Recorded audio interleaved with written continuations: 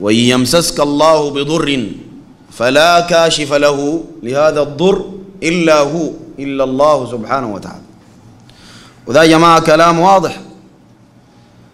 لو جايك ضر قدره الله تعالى عليك فإن هذا الضر لا يدفعه عنك إلا الله سبحانه وتعالى. لأن النفي بعده الاستثناء هذا من أدوات ومن أساليب الحصر والقصر والاختصاص. فلا نفي كاشف له إلا استثناء إلا هو. كقولك لا إله إلا الله. لا إله نافيا استحقاق العبادة عمن سوى الله سبحانه وتعالى.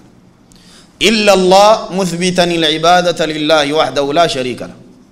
فلا كاشف لهذا الضر إلا الله سبحانه وتعالى. يبقى لا تعلق حجاب تقول بكشف الضر ولا تعلق كمون تقول بكشف الضر ولا تلجأ لفقيه ولا شيخ ولا حي ولا ميت إلا الحي الذي لا يموت وتقول يكشف الضر. وإنما تلجأ إلى الله وحده لا شريك له والذي يملك النفع ويملك الضر سبحانه وتعالى. قال وإن يردك بخير أي إن يردك الله بخير وإن يردك بخير فلا راد لفضله.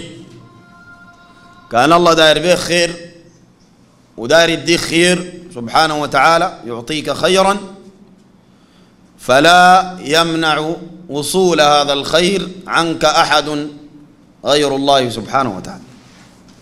شكاية مشيت تشتغل في السوق بزبائن جاينك وده ده قابض فيهم وده قابض أعرف الشغلة دي لو مكتوبة لك بتصلك سايق بص أعرف الشغلة دي بتجيك. سايق أي حاجة أعرف إنه الرزق ده بيد الله والخير بيد الله سبحانه وتعالى. ما في حاجة بتمسكك ولا في حاجة بتمسك منك. وده يا جماعة فيه رد على الناس اللي بيقولوا فلان بيحوط وفلان بيرد الضالة فلان بيجيب الرايحة.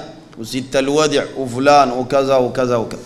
كله من الضلال ومن الانحراف.